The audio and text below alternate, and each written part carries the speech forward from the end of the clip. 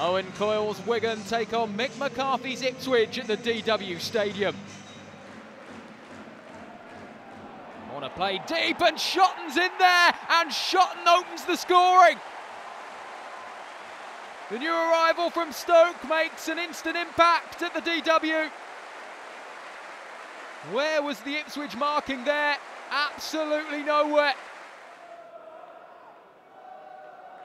Wigan getting deeper and Ipswich continuing to press forward here. And what a chance and what a save from Carson to deny Daryl Murphy. That's a top draw save. Skuse fancies it from that kind of range and it may have taken a deflection as well, which makes the save from Carson even better. From range and Carson manages to get a hand to it. Christophe Berra this time trying his luck from long range. Just becoming a little bit more desperate now for Ipswich as they look to end what's been an awful run here against Wigan. And Gerken is in trouble here, and Powell's going to get the better of him. Gerken wants a foul, he's not going to get one. Powell must score and does.